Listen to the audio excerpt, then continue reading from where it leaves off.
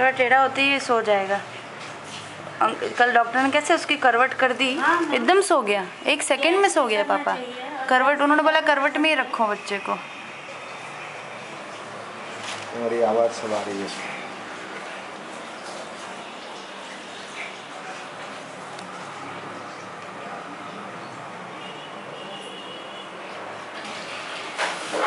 बस आपको तो फ़ोटो खींचना चाहिए।